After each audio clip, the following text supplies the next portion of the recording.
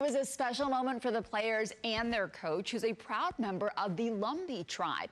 ABC 13's Greg Bailey shows us how Kelvin Sampson is leading the team to new heights while honoring his roots. So many good things going on at U of H. Kelvin Sampson proud of his roots and his heritage as a member of the Lumbee tribe of North Carolina. It's really an extended family, and they couldn't wait to welcome their favorite son home when Sampson and U of H traveled to play at East Carolina.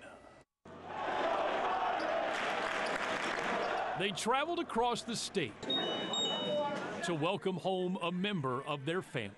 Real proud, real proud. You're going to see it when that ball game starts. You're going to see it. These are the men and women of the Lumbee tribe of North Carolina. In 1972-73, when I coached Kelvin, I knew he was going to be something special, but I never envisioned this type of special. Karen Sampson greets them all, overwhelmed by the support from members of her extended family. You're going to make me cry. It really does. It. Um, you don't want to disappoint them. You try so hard to make them proud of you.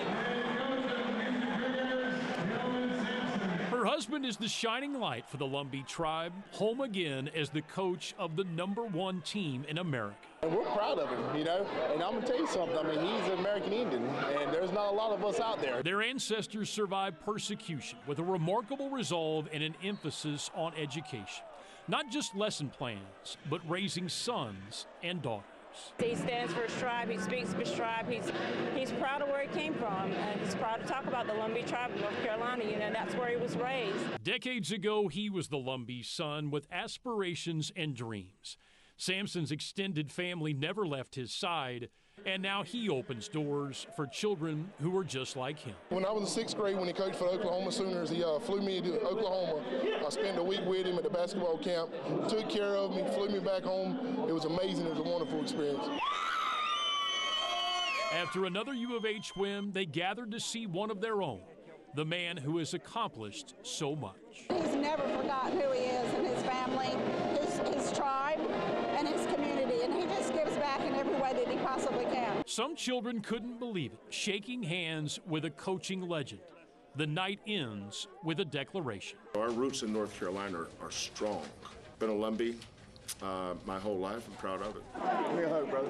Their son is home again, forever a member of the Lumbee family.